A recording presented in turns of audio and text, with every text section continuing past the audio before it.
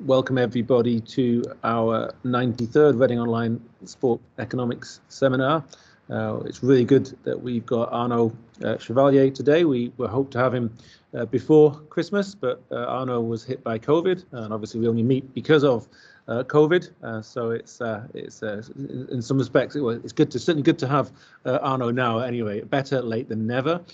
before we get going, administrative notices to to make the most important and most imminent one is that Rod Fort, hugely well uh, known within the sports economics literature for many uh, hugely uh, significant contributions. Uh, he is having a farewell symposium. Uh, it's the Dr. Rodney Fort Farewell Symposium. It's tomorrow. Uh, it's via Zoom. it's with, with, a farewell lecture at um, 4 p.m., which will be 4 p.m. Uh, guess Eastern time. Stefan will probably nod or uh, or shake his head. Uh, what I will do is I've got a poster for the event that Stefan shared with me, and I will put that in the chat with the details. So it's the Rod Fort Farewell Symposium, which will be tomorrow uh, on Zoom. So everyone uh, interested in that, there'll be uh, a his PhD students, former PhD students, and uh, colleagues uh, along the way, uh, as well as his lectures. So do uh, make a note of that tomorrow. It might provide uh, a nice distraction from other uh, footballing events for for many of us. Um, so that's that. on Sunday is the deadline for abstracts for the 16th Gijón Sport Economics Conference in uh, in memory of Stefan Késenne. So uh, please also uh, look out for that and do submit an abstract if you have one. Again, I'll put details in the chat. Um, but I'm not going to hold up Arnaud any longer. Uh, Arnaud, please do take away your talk on the dynamics of racial discrimination in a virtual labour market. Right, thanks. Uh, thanks for rescheduling and having me today. I've managed to use the last, the few additional weeks to, to do a few more results. Uh, but despite that, uh, it's still preliminary, so there's still some uh, some stuff that needs to be done, and probably some uh, explanations that needs to be uh, perfected. So I will be happy to have your your comments. So feel free to jump in whenever things are, are unclear, and and you can squarely put the blame on myself because Alex has not even seen the the most recent slides, which I sent to him about half an hour ago. So don't blame him. I, I will I will take it all. Uh, so, so what we are doing here, we are uh, we are going to look at uh, at a virtual labor market, and we are going to look at decisions to of people to hire uh, workers. And you you can guess that it's going to be about uh, a sport event, so it's going to be about fantasy football. But let's let's think about it more generally. Uh, so we are going to speak about a firm, the participant in fantasy football league, who are hiring workers the football players uh, in the Premier League. And, uh, and we think there are quite a lot of advantages in that setup. One of them is going to be that it's, it's going to be dynamic. So the season lasts for 38 weeks, and therefore we are going to observe the decision of the same people over 38 weeks as information about the productivity of, of the workers get revealed and get more precise. So that's kind of where the, the dynamic of racial discrimination is coming in. And, and we think we are kind of the first one to be able to do those things of looking at the, set, the decision of the same set of people over a period of time as more information is revealed. And now my presentation freezes. Sorry, let's go back. Yeah, no, it works. Um, so, so yeah, there's been there's a there's a huge literature on on, on discrimination, uh, and basically uh, historical background is yeah from the 60s there's legislation that has prevented uh, racial discrimination in employment in the U.S. In the U.K. it was a few years later. So basically over the last uh, 60, 70 years now, there's been a huge amount of work that has been done by labor economists on racial discrimination in labor markets. So what can we add to that? So I've already hinted a, a little bit, but before before we I explain more what we are doing, I'm going to do a, a quick review of uh, of what we kind of know. So kind of the bulk of uh, of studies nowadays is kind of correspondence studies. So there, there is a famous paper, the most famous paper by Bertrand and Mullainathan, where basically they, they respond to real job ads with uh, fake CVs that differ in one criteria. So here in, in, their, in their paper, it was race. Uh, and then they send both CVs to the employer and count the number of callbacks that they get. Uh, and from that, they got that uh, CVs with a white sounding name receive 50% more callbacks than CVs with a black sounding name. Okay, so that hinted at some discrimination, at least at the first stage of the hiring process uh, for employers in the US. And that kind of setup has been replicated uh, throughout the world uh, with lots of variations. And if you're interested in that, you can just check the, uh, the website of uh, Stijn Baert, um, who has a, a, repository of all the studies that he knows of uh, that are using correspondence studies. So it, it's super interesting if you, uh, if, you, if you want to have a view or a look at that literature. Somebody has managed to put it all together in one place. Um, and then maybe for kind of the depressing news is that paper that basically does correspondence studies type of uh, and compare what has happened in the UK over 50 years. And they basically they find no change in the in the callback or the difference in callback between white and blacks. So despite increased legislation, um, more and more awareness about uh, racial issues, it doesn't seem that employers have changed their behavior much. Um, and then one paper that I like a lot uh, is a paper by Bartoš and co-authors, where uh, they not only do those kind of, of correspondence studies, but also have um, a software that allows them to track how much effort do the employers spend at looking at the information provided in the CV of the, of the uh, applicants. Uh, and what they find is that employers spend more time reading the, the CVs of white applicants compared to the CV of, uh, sorry, minorities versus non-minorities.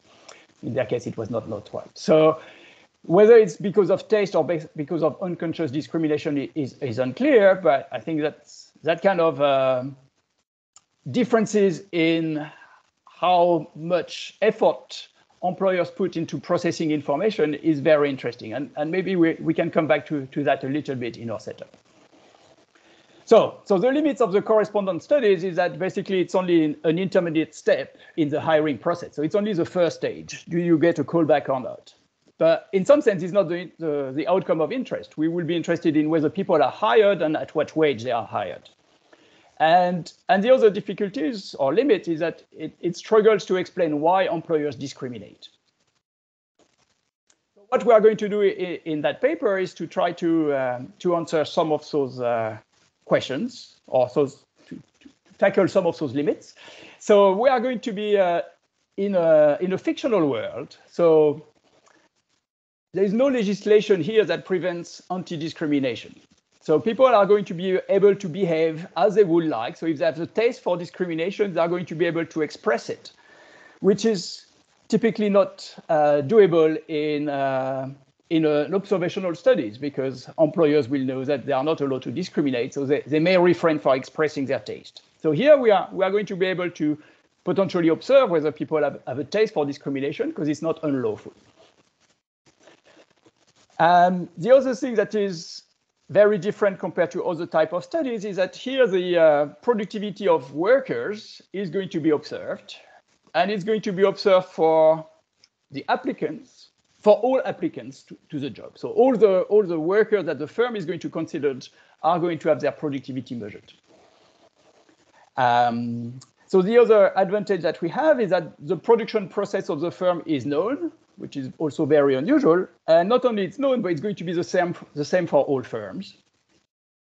And the other thing that we can control for in our setup is the customer preferences. So we know that potentially some of the behaviors that is observed is not because the employers want to discriminate, is, is because their customers are discriminating. Uh, so there is some evidence of that. Those famous papers using baseball cards and the price of uh, different baseball cards with players that are either white or black. Uh, there is also the paper by uh, Leeds and Rockoff on the odds of um, horses, depending on whether the jockey that is mounting them is black or white. Uh, and those things tend to, uh, to show that there is some customer preferences, sorry, some customers have some biases uh, in their preferences and are happy to pay more for uh, having uh, a, the card of a white baseball card player or having a white jockey on a horse. Um, so the other thing on which we don't know much, as I said uh, at the beginning, is how discrimination evolves over time. And we are going to be able to speak over that since we are going to observe 38 periods of decisions regarding um, uh, hiring decisions. Uh, and then something that we can do, but we're probably not going to have time to speak about today, is we can look at the impact of competition on the discriminatory behavior. So if you think in a kind of uh, a I will come back to, to it later in a little bit if we have time. So let's let's leave it at that for the moment. So that's all the things that we can potentially do in in in the setup that we have that is that are typically not possible in the in the rest of the literature or that are limited in the rest of the literature. So what is our setup? As I highlighted earlier, basically we are going to have a, build a, an employer-employee database where our employer are going to be participant in fantasy football league and the employees are going to be the footballer in uh, the English Premier League. And, and the game is such that each participant needs to hire some uh, footballers on a weekly basis. Uh, and as I said earlier, discrimination is not unlawful. Uh, productivity is going to be observed for all the footballers in your team, but also all the other footballers that you don't have hired yet, uh, but that you could consider hiring. The other thing that is different from the kind of uh, the natural world, uh, but is uh, is also also helpful for us is that wages are set exogenously. So here the firm is a wage taker, and if you want to hire a given worker, you have to pay a wage that is being set exogenously. So you cannot bargain with, uh, with the workers to, to lower their price in order to hire them. And uh, so in that setup, also the, the production function of the firm is going to be identical. So all the firms are going to produce the same product, which are fantasy football points. Uh, and those products, that product is, is, uh, is produced exactly the same for all the firms. Um, the other thing that is going to be of importance for us in trying to explain um, the behavior of um, of the of the participants is that there there is no interaction between workers. So in the real world, employers may be concerned that their workers may be biased and don't want to interact with workers of another type, uh, and that affects their decisions to whom to hire. So here's basically, that's not going to be the case because you're only hiring workers virtually, so it doesn't matter uh, to the worker who is the other worker is. And, and the other thing why it's important is there's going to be no productivity spillovers. So the productivity of one, sorry, the overall productivity of the firm is going to be purely additive in the productivity of each worker.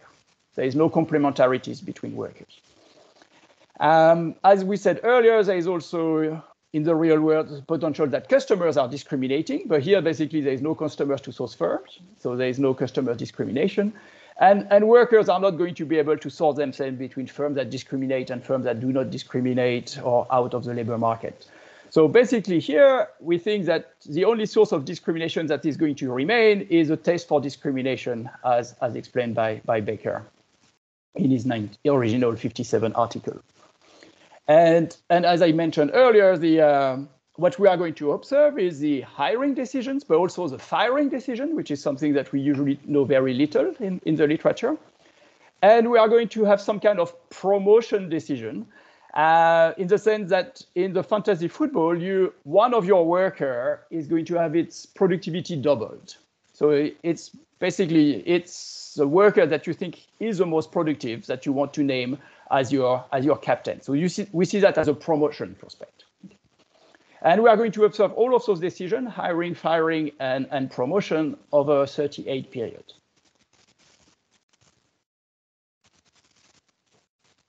Okay, so I can say a, little, a, few things more about Fantasy Premier League to, to set the scene. So basically, it's, it's an online game uh, it's free to participate. And in the year for which we have the data, there is three and a half million participants.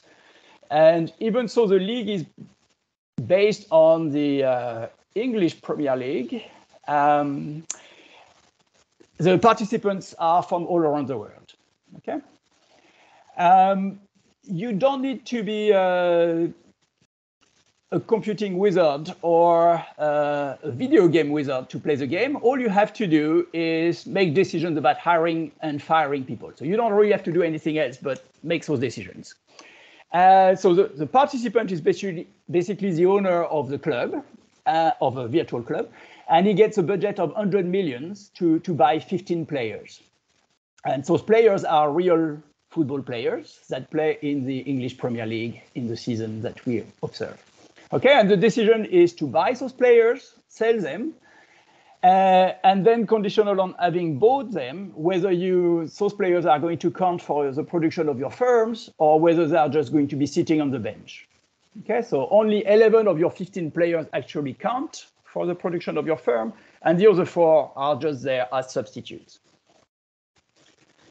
So that's basically the only decision that the participants have to make.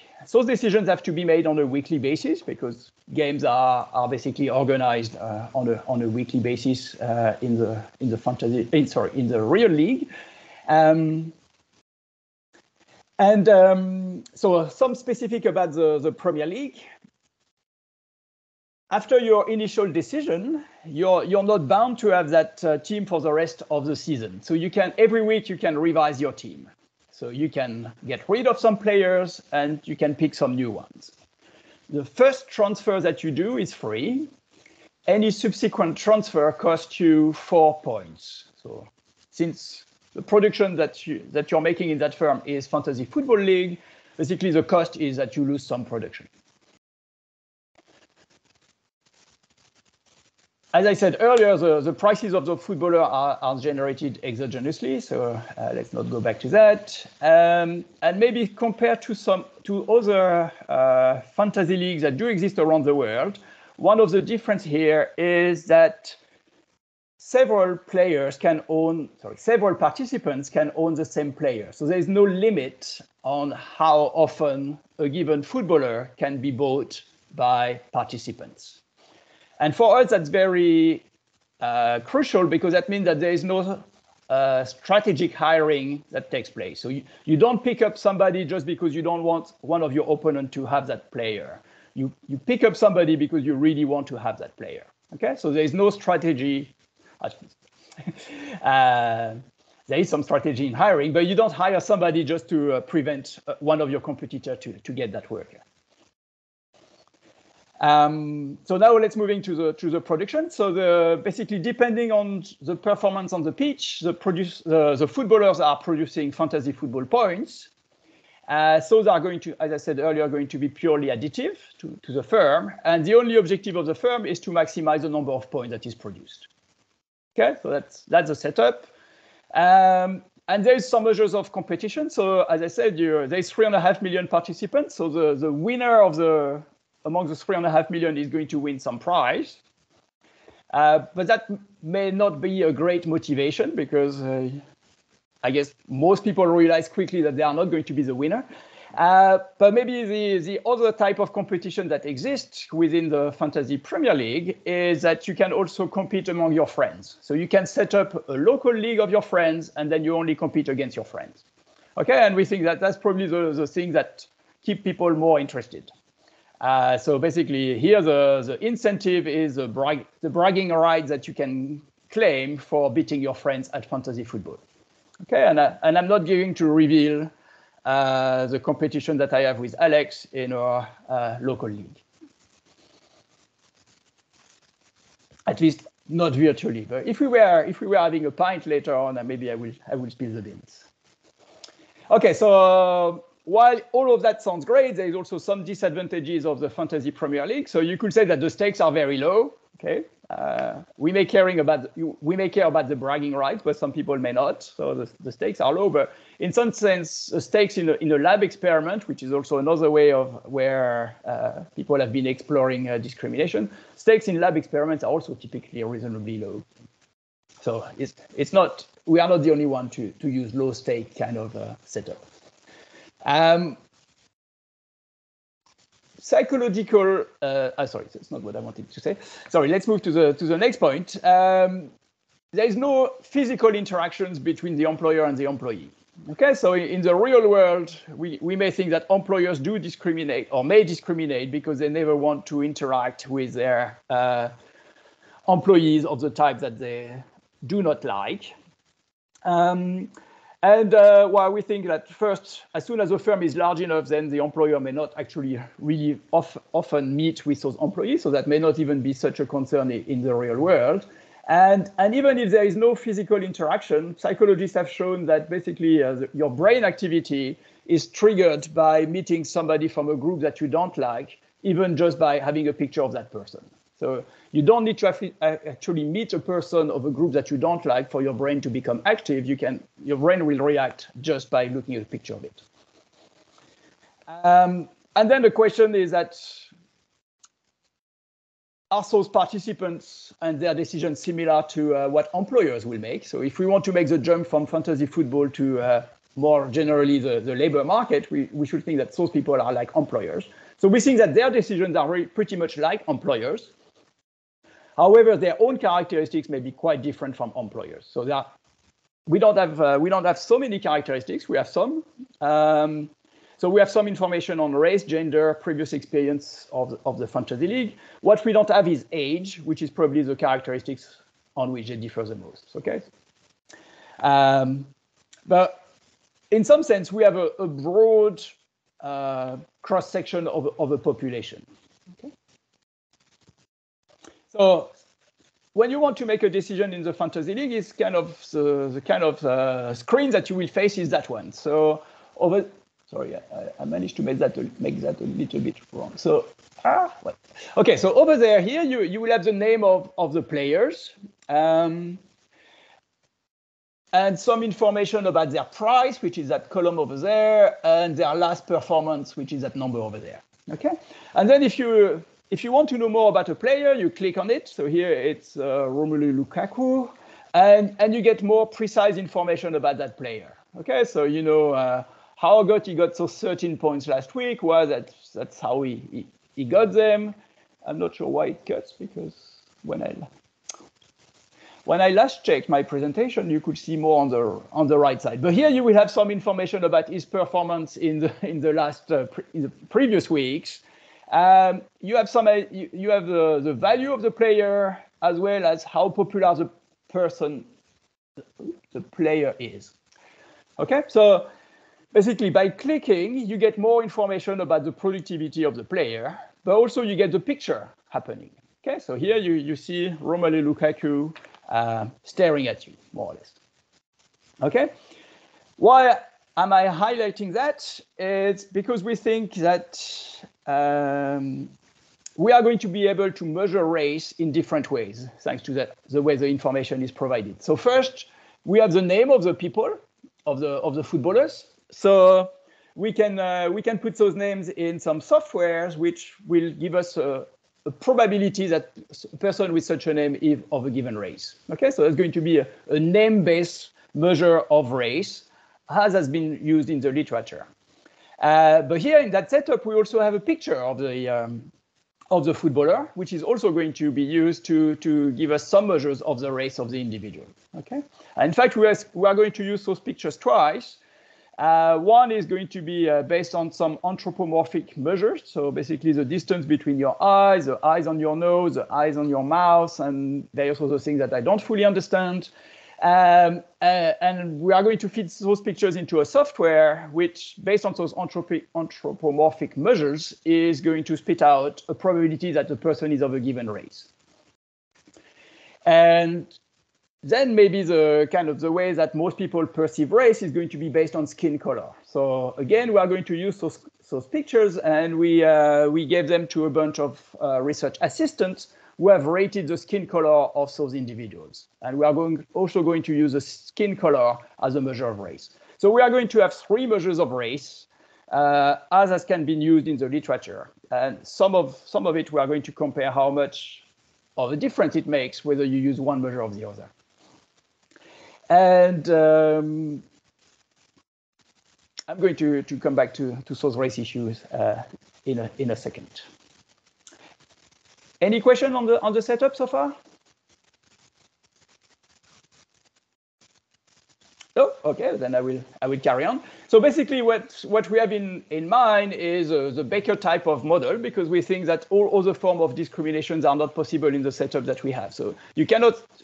You shouldn't be uh, doing statistical discrimination since you have complete information on the productivity of each individual worker. There is no point of relying on the workers group to infer its productivity.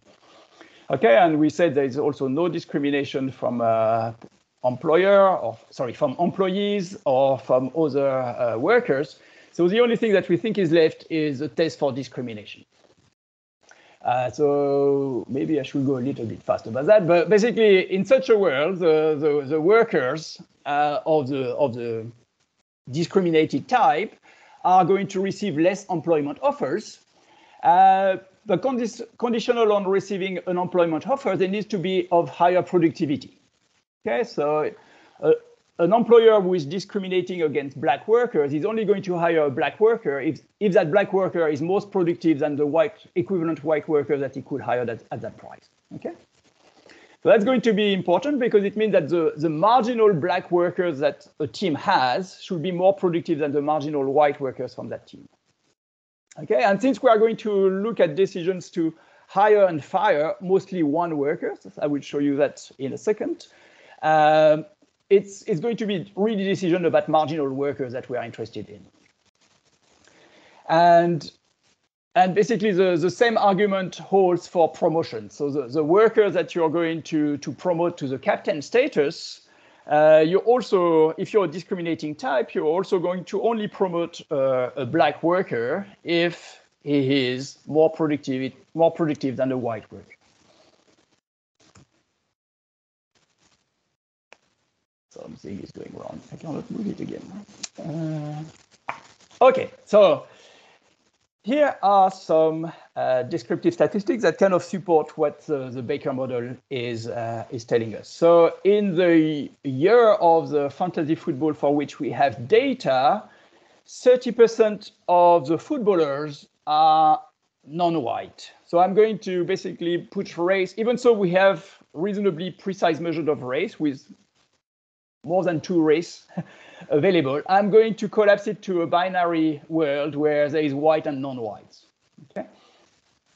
So uh, there is 30% of non-whites uh, footballers in that year. But if you look at the non-whites that are in teams, uh, so in employment, that have been at least selected by, by employers, there's only 22% of them.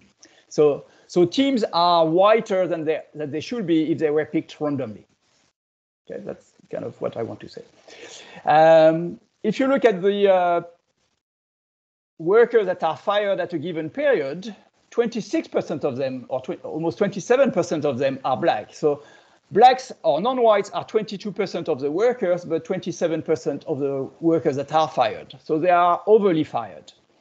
And if you look at promotion, here it's the other way around. So blacks 22% of workers are black, but only 17% of promoted workers are black. So they are under promoted. Okay, so as kind of predicted by the Becker model, in all of those margins, we also we observe differences in uh, the probability of, of event by, by racial status. And um, that table is a little bit complicated. so let's let's spend some time to think about it. So 11 players are going to accrue points for the firm. So I'm going to exclude the goalkeeper because in that year, I think there is only, from memory, there is only one non-white goalkeeper in the Premier League. Uh, so basically here, you don't really have a choice to discriminate or not to discriminate. You, you have almost, but uh, no choice, you have to pick a, a white goalkeeper. So I, am I'm, I'm eliminating the, the goalkeeper, so I'm left with 10 decisions to make uh, about players. So uh, a team can be composed of basically a 10 white person and zero non-white, up to, up to the other extreme where a team is composed is fully black. I'm not sure why it doesn't work here. Okay, so here basically we move from zero black in the team to more and more black people in the team. My, my pen is just giving up today. okay, so that's the direction of travel. So the teams are getting blacker as you move uh, downwards. Uh, and then in the in the next column, the uh, non-white player average productivity and, and the least productive least productive non-white gives you uh, basically exactly that. So what is the average productivity of the non-white in a team with only one non-white player? Um, and you can see that the average productivity of non-white player is going down as more non-white players are in the team. Okay, so that's also as you were expecting. The, the first non-white player that you hire has to be super productive for, for, for a discriminating person to hire him. Uh, and then the marginal black players that you hire, its productivity is also decreasing the more black players you have. Okay, and for white players, it's basically exactly the reverse. So the the the the more non-whites you have in your team, the better, the most productivity, the most productive the, the remaining whites that you have in your team have to be. Okay, so that's kind of what we observe here. So while I showed you that table, I, am aware that I still haven't told you much about the data. So let's let's go to uh, that into a, a, little bit more detail. So we have uh, three, a bit more than 3 million participants, for which we will know their weekly team selection, including basically uh, who is uh, counting for, for getting points, who is just staying on the bench, who is a captain, and there is a second person who is a vice captain. So it's basically your should be your second most productive player. And we also observe the productivity of everybody in your team, and therefore the overall productivity. For the participants, we also know their history of playing the Fantasy uh, Premier League. So we can see that as the experience of the uh, of the of the employer. Uh, we have some measures of their interest in the game. So how many local leagues they have entered, uh, how large those leagues are. So that gives us some idea of, of competition and of interest in the game. Uh, and we know their country of origin as, as, a, as the one that they put when they registered for, for the game. For a subsample of 100,000 of them, we also know their race and then gender and that's basically based on their name. So as I was telling you earlier, um, basically with uh, with name, you can you can put those names into a software and it spits out um, a race in probability. So we've also done that with the employers, so with the participant, but only for a subset of them. So uh, and we did the same for gender. So again, with uh, with with uh, with a name, you can infer gender. Uh, so here is what it looks like. And among our more than 3 million participants, um, I'm going to split them between what I call the balanced panel and the unbalanced panel. So the unbalanced panel is basically the people who missed the first week. So people who started playing the game but missed the first week. So in some sense, they, they may be less interested. Um, and, uh, and in fact, they, they do differ quite a lot compared to the rest of the participants. So the balance panel is people that we observe from week one onwards. Uh, and since you once you've registered, you cannot you cannot leave the game. Basically, if you start in week one, you're you're de facto staying until the end, so you de facto into a balance panel. Okay, so we have uh, 2.2 millions of participants that are in the balance panel. And uh, and my name sample, uh, it started with hundred thousands, but we've lost some along the way, so we are left with 98,000. Okay, but what you can see is that the randomization works. So I randomly picked some people from the balance panel, and basically there is no differences in the characteristics of my name sample, which is going to be the one that I use the most for, for the results that I'm going to present, uh, compared to the full uh, sample of participants. So uh, if you're um, so maybe a few things of, of interest. So a bit more than half of the participants are UK based another quarter are kind of the Western world, uh, uh, and then the remaining 25% are based all around the world, mostly in Asia. Um, the sample is of participant is uh, overly uh, male, so 87% of participants are male. And if you look at their uh, predicted race, there's also a kind of a, a nice split. So about two-thirds of them are, are white, and, and the remaining are split between Hispanic, Asians, and black. Okay, so that's our sample of participants. And as I said, I'm going to, for a lot of the stuff that I'm going to present today, I'm going to look at the name participant, at the name sample. Sorry. All right.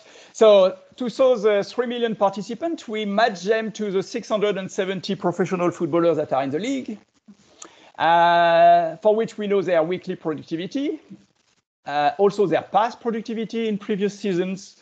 As I said, we, uh, we know their race, uh, and uh, we know a few more things like their age, nationality, international status that we picked from some other database. So it's not provided in the Fantasy uh, Premier League, but it's easily available information. Uh, so if we look at the race, as I said, we, we can measure it uh, differently. We can measure it by that anthropomorphic measures and by the name measure. If you look at the um, at the distribution, it's basically what do I want to say here? Um, so uh, right, so about 400 of our footballers are classified as white according to their anthropomorphic uh, measures. Uh, it's only 350 if you look at the name measures. So the, the two things um, do not uh, do not the two different measures do not match perfectly, and, and maybe that also explains why in the literature there is also quite a bit of range of estimate of racial differences because people use different measures of race. Uh, and the other, so the other numbers that I present here is basically the uh, skin tone ranking uh, that we have. So basically the white have a, so the skin tone ranking goes from one to seven. And basically our, our markers did a job that looks reasonable uh, in the sense that the, the, the all the the AI measures does a reasonable thing. I'm not sure which way you should we should think about it, but at least the uh, the people who are classified as white on the AI measures are also found to have mostly uh, a whiter skin tone by our uh, uh by our research assistant. Uh, and people who are classified as black by the AI measures also are found to have uh, quite a bit a darker skin tone by our by your research assistant. And you find similar stuff when you use the name. Uh, so let's look at the correlations between all those measures, and maybe that's where uh, things uh, are maybe, at least to me, were a little bit surprising, is that basically a name measure of race is not that well correlated with the other two. So with the anthropomorphic and with the skin tone. So the name is, is a little bit, is quite a bit off. Uh, and, and now I create a fourth measure of, of race. So that's bear with me. so my fourth measure of race, uh, because basically I have no idea which one of those measures is the best one to use. Uh, and I could basically do the analysis for all three of them and, and build some arguments, but that's going to become cumbersome. So today what I want to do is I want to present you most of the results with only one measure, which is going to be what we call the unambiguous measure of race, which is people who are classified either as white or non-white on all of those three measures. Okay, so it's going to basically polarize our race measure. It's only keeping people who are on all measures classified as white or on all measures classified as black. Okay, so that's what we are going to use. Let's keep things because otherwise I'm never managed to get to the results. Uh, so that's basically how productivity is measured for all of the uh, footballers. Uh, what I want to show you is, is things. So substitutability between uh, black and white workers. Uh, so here is basically the amount of points that they score over the season. Uh, you can see the distribution for the black workers in the darker shade and for white workers in the gray. And you can see that they mostly overlap. So it's, it's not that one group is more productive, more productive than the other, they, they mostly overlap. Um, do they produce it differently? So if you look at productivity per minute played, basically it's the same. There's just a large amount of overlap uh, between black and white. Oops. Uh, distribution of price of, uh, of the of the cost of those workers, so what I call price here, um, but it's basically the cost that you have to pay for hiring one of those workers.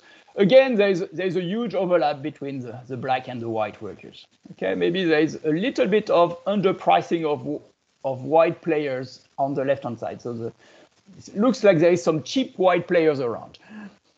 But that, that yeah. Uh, but if you look at the number of points produced per cost, uh, then again, there is a very good overlap of the of the two distributions between black and white. Okay, so from so, from those measures, we we will conclude that uh, the workers are very close substitutes on average. Okay, on over the full distribution. Uh, and that's what you find also if you do a, a regression of performance of a price. Uh, basically, the uh, a dummy for race uh, is not significant there.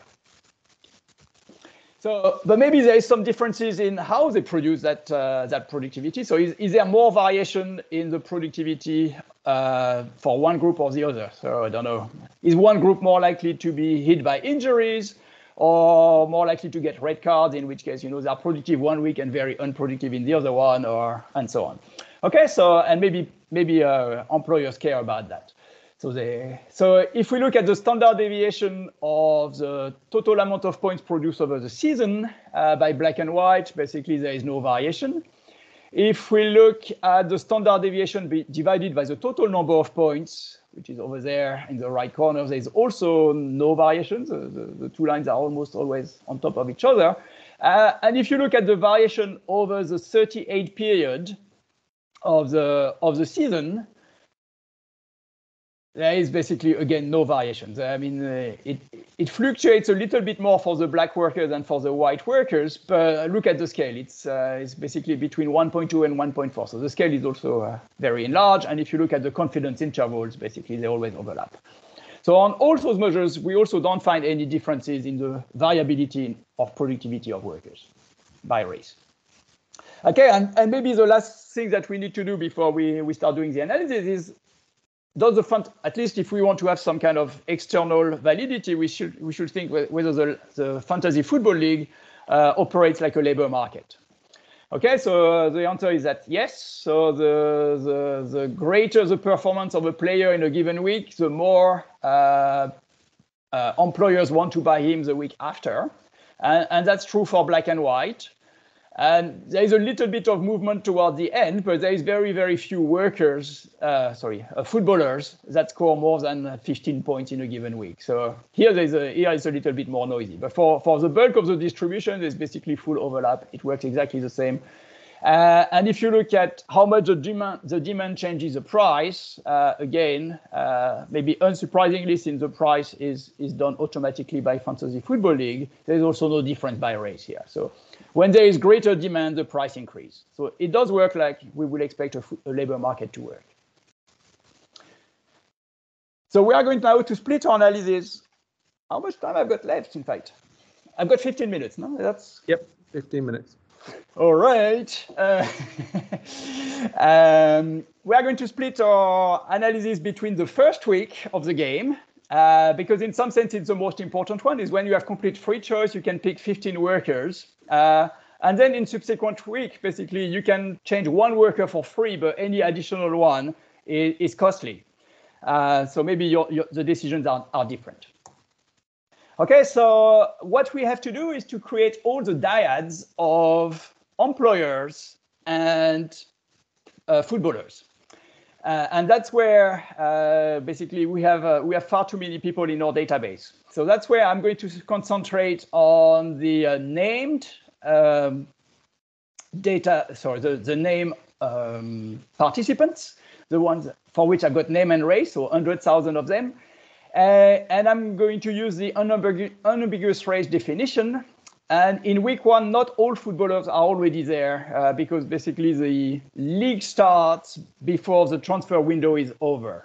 So some foreign footballers are not available in week one, or even some local ones are not available in week one. So, we, and with that unambiguous race definition, we also lose some uh, some uh, footballers. So we are left with 358.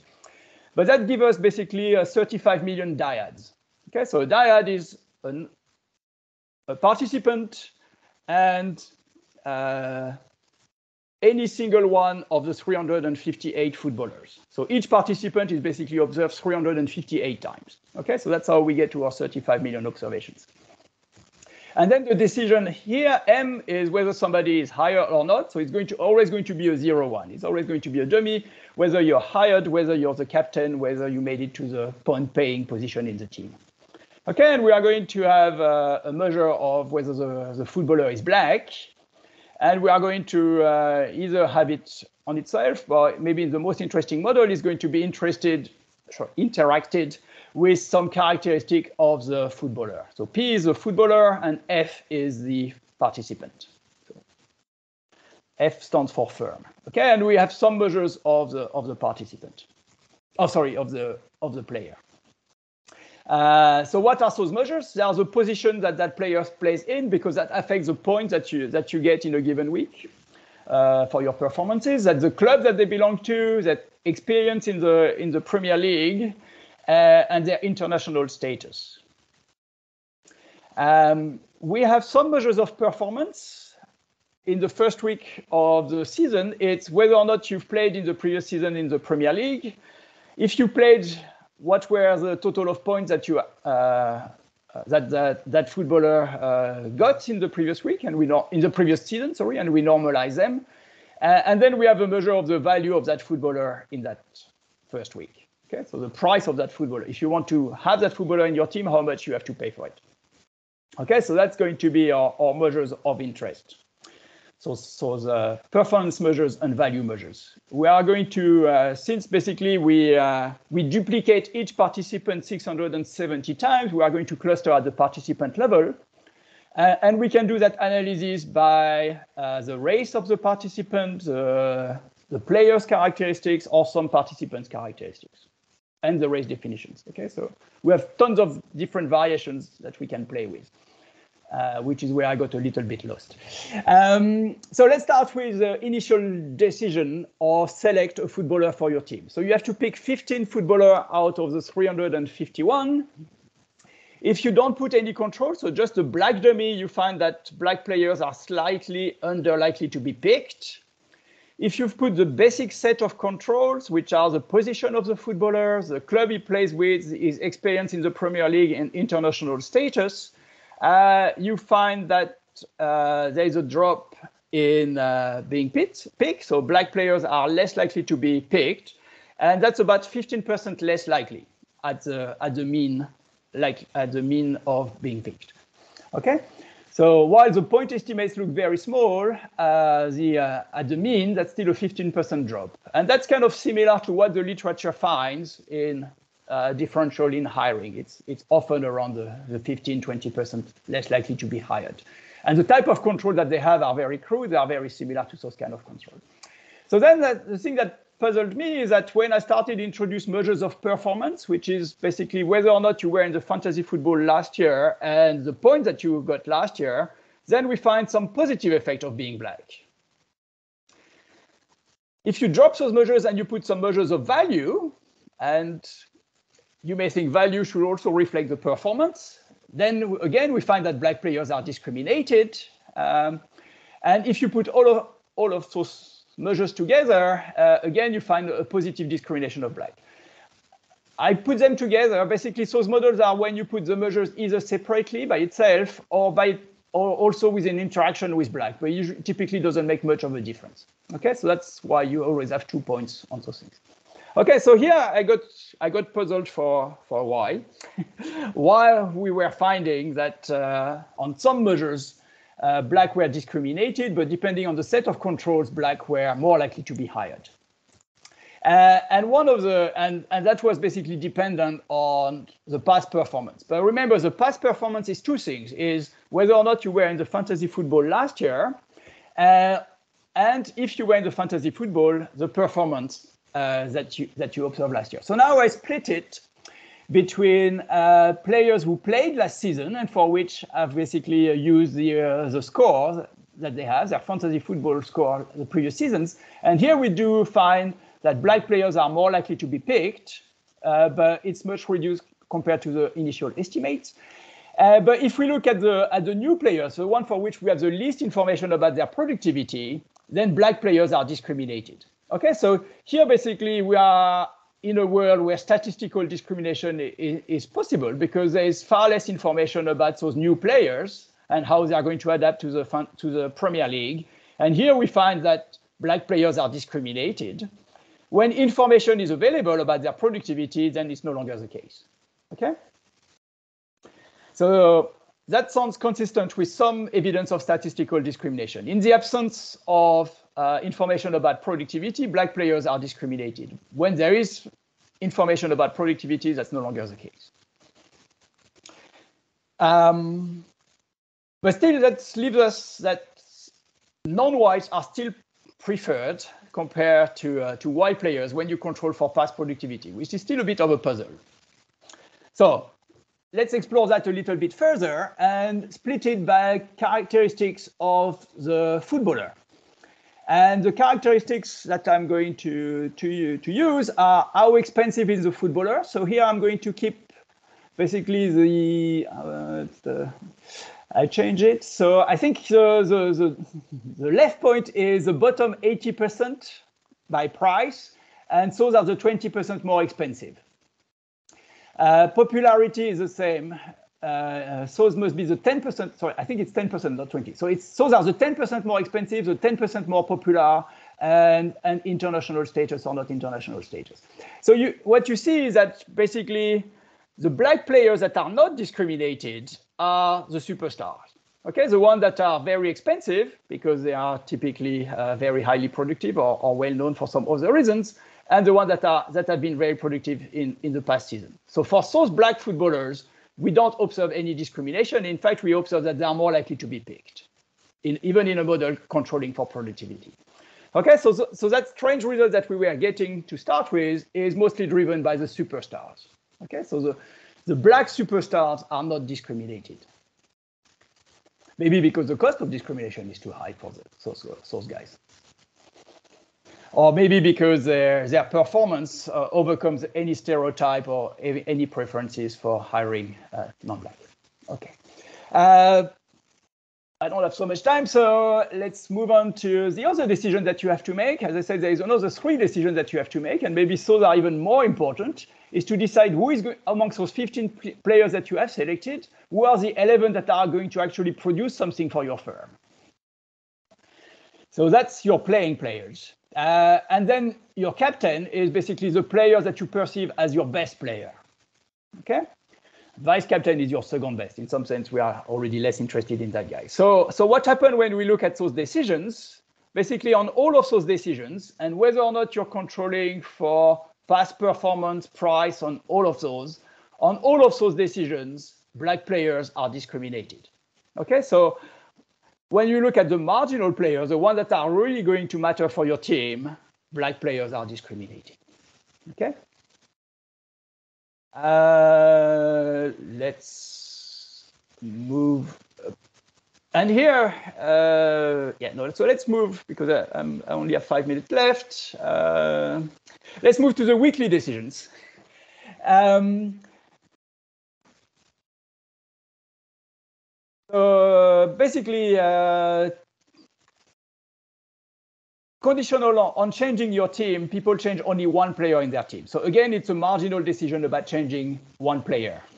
Okay, uh, that graph shows you that basically a large fraction of participants in the fantasy football stop playing it in the sense that they are not active uh, quite quickly. Uh, so here for the remaining of the of looking at those weekly decisions, I want people who are active in the game. Otherwise, it, it's not very interesting. So I'm going to focus on the 40% of participants that are active in the last four weeks of the season. Okay, and that's the type of model that I'm going to estimate. So again, it's the same decisions about hiring, making a player play, being the captain, on a bunch of characteristics which I interact with uh, black. And maybe the, the, what I find the more interesting model is the dynamic one where the interaction is basically the between black and the same indicator at the previous period. So if you were hired in the team at period T minus one, are you still hired in the team at period T? Okay, so do you keep the same players or do you get rid of them? Uh, and here is what we find is that again, doesn't matter what type of controls you are putting, which are the, the three first dots, whether you look at the static model or the dynamic model, um, here the, the red line is over there. So the red line for, for zero is uh, almost outside of the graph. Uh, but on basically uh, here you find again that black players are discriminated. Okay, so, so what I find the most interesting is here in those dynamic models is that basically black players are more like are less likely to be hired in the first week, and then in subsequent weeks are more likely to be fired. Okay, uh, and that's true, uh, and that's even more likely to be true if they are superstars. So the, the superstar blacks are also basically put maybe to under greater scrutiny because they are much more likely also to be sacked. Okay, so maybe it's some attention that is being paid to the to the star performers, and star performers are the one most likely to be swapped, and that affects the black players the most. Um, I think I'm running out of time, so let's look at the things. Uh, basically, then it shouldn't surprise you, considering what I just said, that uh, black players are most likely to, to lose their position in the team over the season. What we find is that teams are getting whiter over time. Okay, so here is basically uh, three versions of the same graph with different measures of race. Uh, the black line is basically the racial composition of all the teams um, in week one from teams that are uh, overly white to teams that are overly black. And zero is basically a team that you will have selected as, sorry, the racial composition of a team that will have been randomly selected. Okay, so you can see that the uh, average participant as a team that is whiter than uh, if picked by if picked randomly, and that basically over the season the teams are getting even whiter. They move to the left of the distribution. And here we have, in the last minute that I have, what are the costs of discriminating? So here we are basically, uh, again, in a setup where one of the advantages is that we can look at the, at the cost of discriminating. So we have the total productivity of all the firms. And we even know what is the production frontier of those firms because every week we can reconstruct what should have been the, what was the best team to have in that week. Yeah, so the, the dream team to have in that week. Uh, so then you can measure the, uh, the, the, distance to that frontier. Uh, and we basically, uh, and the average efficiency is, is, is only 37%. Okay, so the average person is only, pro, is only uh, getting 37% of the points that were available in that week. Um, but those who are discriminators, according to basically the definition here, so those that are basically on the left of that uh, one standard deviation, uh, uh, more one standard deviation on the left of uh, of a team that was that would have been picked as random. So discriminators are are forfeiting uh, 0.1 of a standard deviation in in that distance. Okay, so so that that's the additional loss that they are making by by discriminating. I'm aware that I rushed through a lot of things. so let's have a concluding slide on the last seconds of the talk. Um, so we find some evidence of, of discrimination in hiring, especially for new black players. So the one for which there is least information about their productivity. Um, we also find that participants discriminate most for the marginal players, uh, the ones that actually bring points to the team. Uh, and the captain, which is the one that uh, brings the most points, or at least whose productivity is doubled. Uh, so for, on those positions, uh, black players are less likely to be picked. There is discrimination, even if you control for productivity and price. Uh, and there is also discrimination in firing. So at a given level of productivity, a black player is more, more likely to lose his position in the team than a white player. So teams are becoming whiter over time, and that's especially true for superstars, uh, maybe because there is more attention being paid to them. And that's it. Okay, well, thank you very much, Arnaud. Uh, we've got lots of time for uh, questions uh, because of your uh, very good keeping to time. Uh, Alessandro has his hand up. Yeah, hello. I have two questions. thank you for the paper, it was really interesting. Uh, the first question: Do you think that considering uh, fantasy Premier League draft, because I know that there are like two versions. One is the classic one, and the other is the draft, where you when like uh, um, managers take their decision based on uh, others managers in the league because like in auction system. So we, do you think that in this case uh, managers would change their preferences and their like attitude to, to toward discrimination at least at the beginning of the of the season once once they have to pick the the first team because uh, i think that in this case it would be really interesting to analyze what happens to discrimination once people have to interact between each other and uh, condition also on limited availability of choice. I think it will be like more close to reality. And I don't know if you have this data because probably if you uh, play football league, fantasy Premier League draft, it's like private league. So I don't know if you have access to this data, but I think can be interesting also to put in this pr perspective.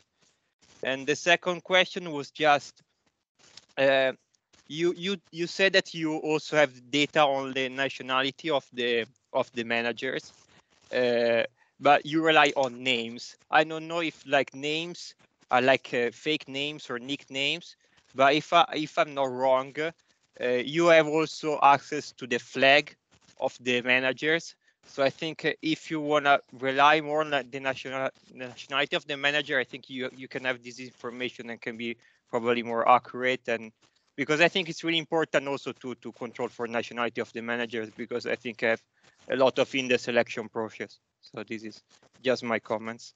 Okay, so yeah, we do have the nationality of the managers, and that's what we are using.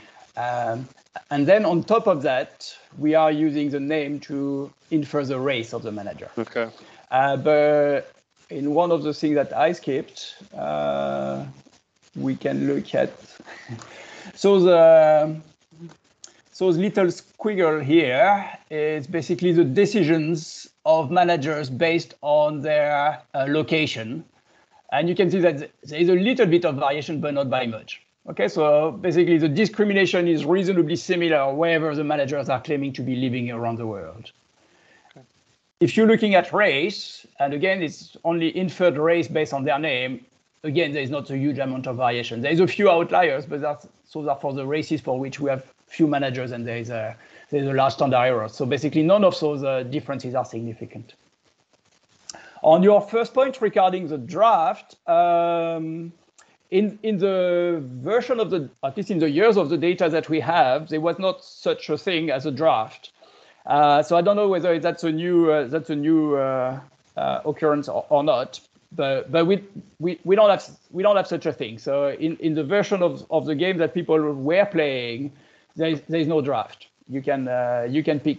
Uh, but in that sense, we think that that's an advantage because it reflects your true taste for a footballer rather than any strategic decision yeah. which is based on preventing others from getting that person. Yeah, this is true. But if you think about the labor market, if I choose like uh, someone to hire, then another employee would not have this uh, option. So I think in that regard, I agree with you. But in that regard, will be like also interesting to see once I have a, a limited option of people that have abilities to to make like uh, this uh, constraint. Anyway, yeah, yeah that probably yeah. depends on the type of, uh, worker that you are hiring. Yeah, I mean, okay. in a in a lot of cases, employers are not going to be uh, having some uh, strategic consideration when they're hiring. Uh, but again, for superstars, that that may be the case. Yeah. Okay. Thank you. Thanks. Thanks, Alessandro. Carl put a question in the chat. He apparently has no camera or microphone today, which is why he's being uh, quiet. Uh, but he says FPL players are choosing teams and footballers uh, on the idea that, well, I think Liverpool are going to do well this weekend, so I'll pick a Liverpool defender. So the racial composition of the rest of the real football team may somewhat plausibly affect uh, FPL recruitment decisions. discrimination may be at team and footballer level you can probably disentangle this using variation in the race of co-workers.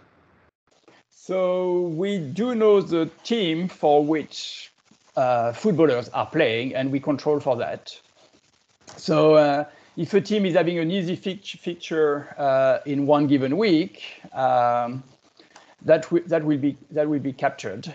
Um, Uh, I think so that that shouldn't be too much of an issue. The other thing that we control for is that sometimes because uh, of the of the calendar, a team end up having uh, two games in one uh, game week of the of the fantasy football, or no game in one game week of the fantasy football, and we also control for that because that also affects decisions to to put uh, to hire a worker or to put him as a captain if you know that he's going to be playing twice uh, or not at all. Yeah. Alex, go on. So, Arnaud, at, at the end there, you threw in a bit of behavioral economics, didn't you?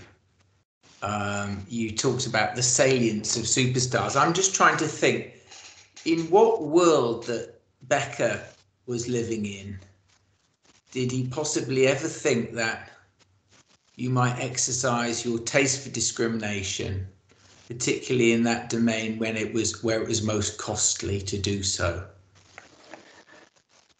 Well, here I think it's the domain also where there is the most return for doing so. So if you can only change one worker per week cost at a, at no cost, uh, probably not much of a of a return of changing one of your bench warmer because that's not going to affect your productivity. So, so the, the one on which you pay attention is going to be your most productive workers.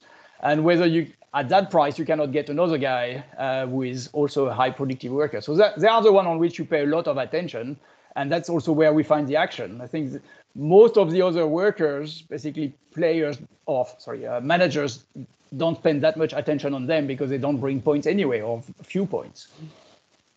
So they, they, they spend they put their attention on the few expensive players that you can have in your team. As maybe I, I, I didn't mention that in the uh, in the talk, but the uh, the hundred million is uh, is pretty binding. So you you cannot hire a lot of superstar for that money. Uh, so um, I think with our definition of superstar, maybe uh, teams will have three or four and, and that will be it. So, so that's going to be the players on which you, you, you focus your attention. And that's, that's kind of consistent with what we find in our, in our results, that most of the results are driven by those expensive players on which these are, people are trading them in and out. Okay, we've got a flood of questions uh, came in, and so we go first to Ian. Hi, can you hear me? Yep. Yep, we can see you, but I can hear you. Okay. Um, maybe no. Uh, yeah. So I guess the yeah the best players uh, of this game they treat it like almost like a trading game. They're they're looking out for the the good deals and who's going to improve in value, and then they sell them on. Um, and so I guess amongst that group of like elite players, I suppose it's quite difficult to think where they're discrimination taste would be coming in and coming to play. So I was wondering because you showed how costly it is for managers to discriminate, but I was wondering wondering of the managers who do really well, is there evidence of discrimination there? Right. So uh, basically, uh, on the can you still see my slides? Yeah. Yeah. Um, so that speaks a little bit to what you're saying. So where we see the most, so if you look at uh, basically decisions to uh, to make to keep your player to make the player uh, somebody who is going to to come for your team or not. Uh, here is basically uh, that set is managers who have never played the game before, who have played it for a couple of seasons most, or who have played the most, uh, more than two seasons. for those who have played it before, did they uh, did their performance put them in the bottom 10%, the between 10 and 90, or the top 10% performers? And you can see that those guys are the ones discriminating the least. So the, the best managers from the past are discriminating the least. The ones that were the worst manager in the past are discriminating the most. Uh, and, and, and, and look, that's basically where most of the variations in managers' uh, behavior is coming from. It's not coming from race, it's not coming from where they come from in the world it's coming from how good they have been in the past. So the, I think that's that's exactly your intuition. Is that uh, the best guy know how to play the game, and they know that discriminating is probably not the best thing to do, but still they, they discriminate a little bit. Okay, is that with the? I don't know where your data ends? Is that with the Salah era? Because I think you know everyone's captaining Salah now, so No, that's hard to imagine uh, discriminating operating. the project is older than that. picking Salah. so, uh, so I think We had Suarez. Suarez with was Suarez as the as the outlier. Um, but I think Su- Suarez ended up being dropped out of the those results that I present because he's not consistently his race is not consistent over the three measures. But yeah, there was one elite player that also something that I uh, uh, I looked at is basically the distribution of players picked over the season, and you can see that over the season the teams converge to some kind of elite player. So in in Orioles, Suarez was the one that everybody was picking and picking as a captain because he was kind of scoring the most and scoring very consistently. Great, thanks, Ian. Next, we've got Stefan. Or could be Thanks, Arnaud. It's, Thomas. uh, it's very, it's a very interesting um, paper. Um, so my question, this this question um, may not be relevant. If, it depends on whether I really understand what's going on. Which so it may not be a relevant question if I've got this wrong. But if I'm right, would it be right to say that if a player is not selected to play by the real manager in the real world, then the player will in the fantasy game will attract zero points for that week.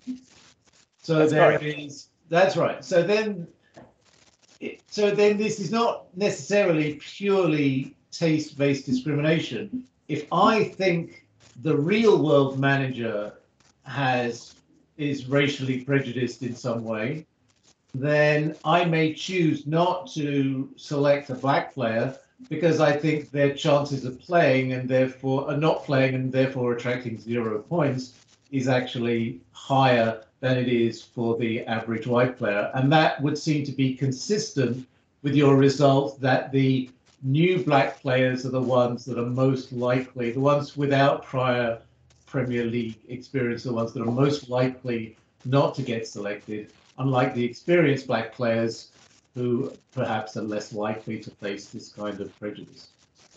Right. So, you- so you're correct. If the uh, if the manager, the real managers of the of the real footballers are discriminating, uh, then uh, fantasy football managers should be less likely to pick black workers. Um, but remember, we also control for the productivity of those workers. So here we are going to compare two uh, footballers who have the same level of productivity. So they, they are picked by their real life manager as often as, as the other one. Uh, still, there's going to be some differences in how often they are picked by a fantasy football manager. But we also, Arnaud, we also tested for that um, discrimination in the real world with our data and found that minutes played on the pitch over our season did not differ by the race of players in the real world. That's right. I didn't show that today, but yeah. So, so, so in fact, it doesn't happen in the real world, although that doesn't address Stefan's point that people might think it might happen in the real world. So the other question I had was, um, how does this relate to um, a cheeky question, Bryson and Chevalier, uh, 2015, who, who, who, and I quote, say no evidence of racial discrimination in hiring at the onset and throughout the season. We were wrong. so you're withdrawing that paper from Labour Economics now. That's that's that's cancelled, is it? So the, the so the data, even though it's both fantasy football leagues, the uh, the unit of observation is quite different. So in that first paper, we were looking at the the footballer was a unit of observation, and and all we had was a number of fantasy football participants who had picked that that uh, that real footballer and how much that varied over the season, depending on on the performance of of that player. Um, whether here what we what we are using is is uh, individual decisions from uh, from uh, from uh, team managers to uh, to hire a given worker, uh, and in fact, we have uh, if we re-aggregate the data that we have now, we've managed to um, to reproduce the result that we did in that labor economics papers previously. So, so the fact that basically they are not exactly measuring the same thing is is the reasons why we also find different results. Uh, but yeah, the, the the other thing that could also uh, explain is that the, effect that we are observing in, in that data that I present now um, are pretty small uh, because the probability that, I mean, there's 670 footballers and you only pick 15 of them. So each footballer has what a probability of something like 2% to be picked. Um, uh, so even the so I'm now forgetting what I wanted to say exactly. Um, so let's let's forget about that. Sorry. uh, if that comes back to me, I, I, will I will answer your questions with with what I wanted to say there, but it kind of eludes me now. okay, thanks, Stefan. We've got Hendrik next. Yeah. Uh, hi, Arnaud. Um, thanks. Uh, thanks for the talk. Um, I was thinking about how this uh, fantasy football players makes their decisions, and uh, of course there are the statistic guys studying uh, performance and so on, but there could also be um, a substantial part of people um, following um, other kinds of heuristics, like uh, I know the name, so I take the guy. So I was wondering um, whether it makes sense to include some measure of uh, media appearance like Instagram followers, Google search hits. I mean, it it uh, it correlates with performance, but there are ways to separate this, like using the residuals of a regression that explains uh, media um, appearance with uh, performance. So this is my question. What, do, what do you think about this? Okay, so no, that's a very good point. Um, we tried to pick up pick up a bit of that by uh, controlling for international status, thinking that, okay, if you played for your national team, you must be a little bit more famous than somebody who hasn't. Um, but that's kind of a, that's the crude measure that we have that we have used, uh, and indeed there's a, there's some variation there in the in uh, in the results by by international status. Uh, we could we could consider looking at those things things that our data is a, is a few years have to go back a few few years now, so maybe there was less. So maybe that's good because there was less social media. uh, but if we want to collect data from uh, so few years ago, that's going to be pretty tricky. Uh, but maybe we should think. Yeah, I mean, count in, in newspapers is definitely doable. Uh, so maybe that's something we, we could we could look at, especially if you look at the non-sport section. But but you do have popularity. I mean, you, talked about pop, you, we see other people's picks, yeah. Yep. And that's the Adler definition of superstar, if I remember correctly. Popularity. That's, and yeah, and I, I think that's a good device in this setting. You know, what do other guys do? And and one thing that Arnaud was going to be looking at, at some point was the networks within the mini leagues. You know, in the mini leagues, I know what Arnaud chose last week do you converge or do you diverge or that sort of thing? Yeah, so that's uh, that's a bit about competition that I alluded at the beginning, but at the moment uh, we don't have the results yet. uh, but yes, it's exploiting the exploiting those mini leagues. So who are you competing with? How far are you from the guy above you and below you in the mini league, and how that affects uh, your behavior? Would be the kind of question that we're also interested in. Thanks, Hendrik. And then we've got Craig with a question. Hi, my question is involving tastes that exist outside of race because this is sports. These are fans playing, and some of these other tastes might be correlated with race. So, for example, I actually played this game a few years ago when they when they started uh, showing Premier League games in the United States with my friends, and we used it as a way to learn about the league. And then, so obviously, we wanted to win, but we were having fun as well. And so we're going to choose all the American players, which are few in the Premier League. And so our taste might have been to choose American players, which at the time I believe were all white. So in your data, would we come across as being, you know, having taste for white players when in reality our taste was for our own national, our own national players? Right. So um, when uh, so in some of those specifications, I, I control for the um, country of origin of the football manager. So somebody playing like you only pick up Americans because he's American. That that would have been picked by by those dummies. So conditional on Right, being American. Sorry, go ahead. But then the interpretation would still be uh, taste for racial racial preferences, right? And but it would really be the uh, kind of random event that the the national players happen to be white. It's not that we were choosing white players, but the interpretation would still be that it's evidence of racial discrimination. Is that correct?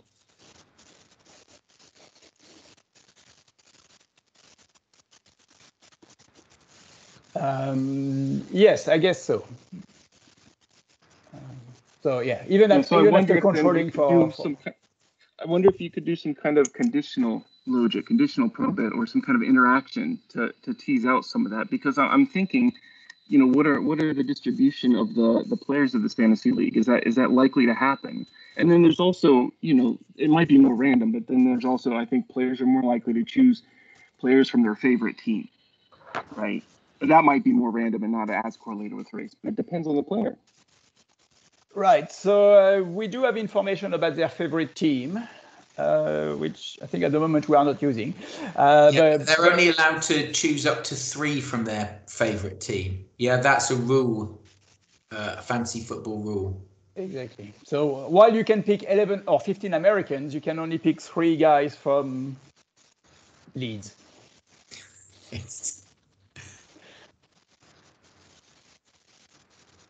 Okay, thanks, Craig. Alex. yeah, one thing I think that's really important for us to think about was the the slide at the end or near the end, which was which was the price of discrimination. Uh, and and you had it expressed in terms of standard deviations, and I was just wondering, it, how big is that relative? Because my recollection was that these black and white players are largely substitutes for one another. So, Yes. and Um, therefore, originally we used to think, oh my God, there is this discrimination, but it doesn't matter anyway because all these players are as good as one another. So now you've got something a bit different. Um, exactly. So that's the bit where I didn't have time to finish. um, yeah. So I, I've left it at point one of a standard deviation, and uh, I wanted to try to tease out how large of an effect that was in terms of points, so that we get maybe a, a better idea whether it's large or not, and you know. In terms of rank in the overall league, how much that will make you jump. Uh, so that's kind of what I want to do, but I'm not there yet. But uh, yes, uh, I don't know. Do you have uh, other ideas of how we could uh, speak about the importance of that loss? I think the the, the, the ranking is kind of uh, so the, the actual number of points and the ranking, how much of a difference it will make over the season is kind of the obvious metrics. But happy happy to hear other solutions.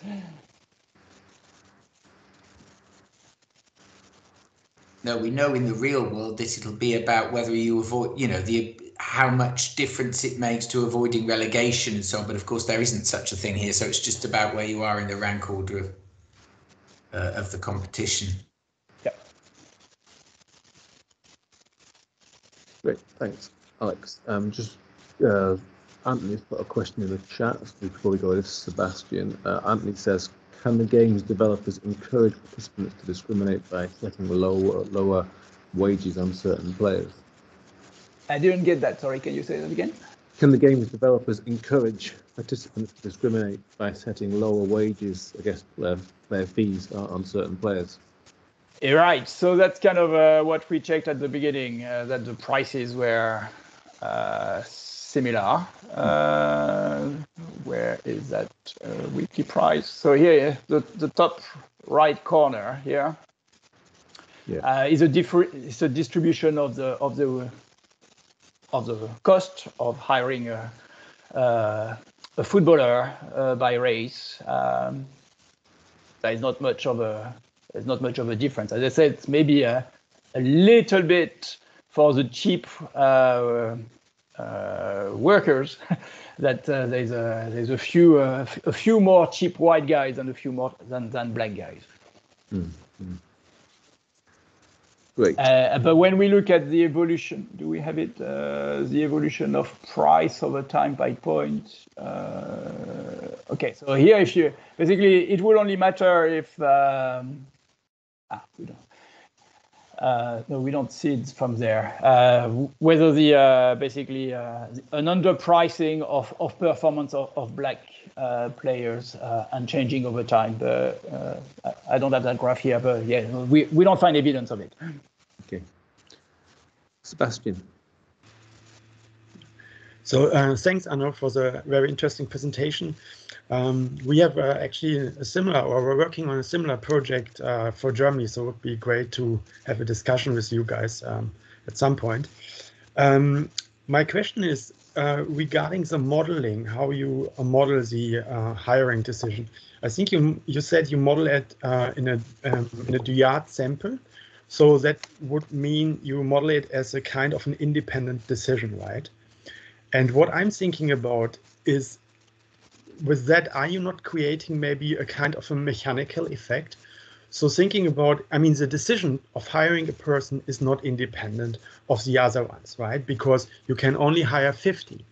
So if I have, for example, a sample which with much more white players, which you which you don't have, but in case, then you would automatically create for some of the white players a non-hiring decision, right? So um, my question is, how, how do you think about that? Do you think that could be a problem, modeling it as an independent decision? Uh, yes, we did worry a bit about that. we, we just can't figure out uh, how it could be done uh, yeah. differently. um, yeah. As you said, uh, you you make a decision based on your uh, price, so, so your budget constraint, and you have to hire, you have 15 slots to fill. Uh, so of course, if, if, you hire a super expensive player to start with, or one of those 15 is super expensive, that puts some constraint on the on the on the others that you're hiring because now you have to also buy some cheap players uh, in order to compensate. Um, but but that is actually not my main worry. My worry is think about you have a sample of 100 players, right? And you have maybe 90 white players and 10 black players and you are hiring 15 players, then a huge amount of the white players will get a non-hiring decision. So zero outcome, meaning they are discriminated, but just because you can only hiring uh, maybe 14 white uh, players have one black player. Um, but that is for the black players, the probability is one out of 10. And for the uh, white players, the probability is 14 out of 85. So you don't have that extreme case but I I'm I haven't really figured out a solution for it, but it would be maybe interesting to think a little bit about about that. So luckily you don't have these extreme example, but but I'm struggling a little bit with the modeling and saying okay, it's an independent decision. Yep. No, no, yeah, yeah, that's that's that's a fair point. It's a bit like a, the idea of a, a, common support idea about productivity dispersion by black and white within position in the team. I think. So you have to fill not just 15 slots, but subsets of slots for defense, attack, and midfield. Goalie is a problem. The common support by race is not there. But you, I think you need this idea of common support by race and productivity. In other words, there needs to be a counterfactual player of another race. And that is an issue. That is an issue that we should think about. I think. But we, uh, yeah. So among the millions of graphs that we have produced, we also have those productivity, productivity graph by position. Uh, and again, we can see that uh, for all positions, there is an overlap of productivity between black and whites. Goalies being the, the exception, because as I said, there was only one black or non-white uh, goalkeeper in, in that season. Uh, so here, basically, yeah, it's, uh, it's, it's almost impossible not to discriminate. Uh, just because there's a lack of choice. But for every other position, it's you can always find a substitute. Thanks, but super interesting. Thanks. Great. Thank you very much, everyone. Thank you, Arnaud and Alex. We've hit four o'clock, so we will wrap things up for this week. Uh, thank you uh, for a really, really interesting talk. Uh, and um, that with with that, we wrap up for Easter. Uh, so next week is Good Friday, so we won't be having a talk next week. The following week, uh, I'll be on holiday, so there won't be a talk. The following week, we'll return on the 29th of April, uh, and I will circulate details about it. And we have Michael Lechner uh, talking, uh, speaking that week, and I've put in the chat the title, which is The Effect of Sport in Online Dating, Evidence from Causal Machine Learning. So sounds like a particularly interesting talk uh, for us to return with on the 29th of April. So have a great Easter, everybody, and I look forward to seeing you again after Easter. Okay, and thanks for having me around and for all your questions. Cheers. Cheers.